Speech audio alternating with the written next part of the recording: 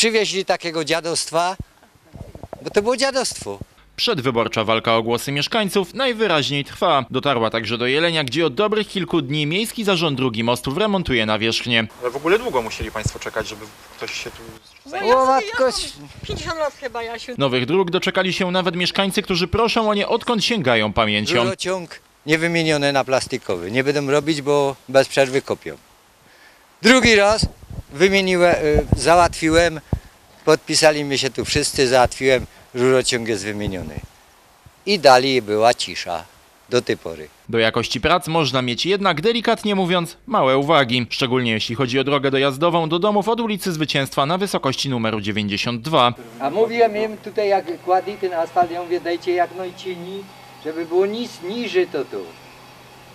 Panie my nie damy rady, tylko 4 cm wysoko i koniec. Nie damy rady maszyną obniżyć niżej. No to po coście, to nasypali te, tak wysoko.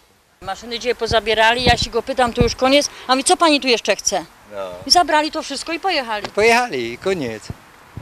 Kilka dni temu zostały tam wykonane prace remontowe i położono nową nawierzchnię. Te kilka dni wystarczyło, aby była ona już mocno uszkodzona. Mieszkańcy są oburzeni, jak można było wykonać taką fuszerkę. Droga jest zrobiona w taki sposób, że nie trzeba przejeżdżającego samochodu, aby ją uszkodzić. Wczoraj to było robione.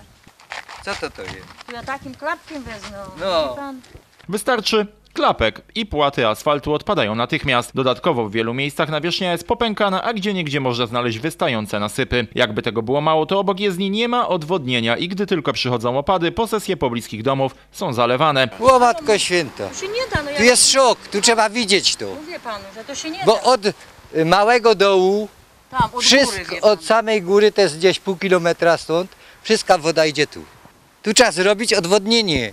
Nie idzie woda tutaj, na sąsiadom to już w ogóle. Zalewa? Tak, zalewa. Ja wczoraj miałam wodę dotąd, pan, dotąd. Dotąd była woda. Mieszkańcy aż boją się pomyśleć, co się stanie, gdy nadejdzie duża ulewa. To jest wszystko siajstwo, jak przyjdzie duża woda, to wszystko to zbierze.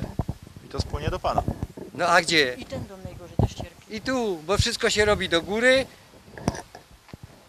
i koniec. I taka jest cała sytuacja. Jak poinformował nasz rzecznik prasowy MZDIM Nikodem Motyka, w tym miejscu nie zostały wykonane jeszcze wszystkie prace remontowe. Nawierzchnia ma być ukończona do tygodnia czasu. Czekamy zatem na efekty.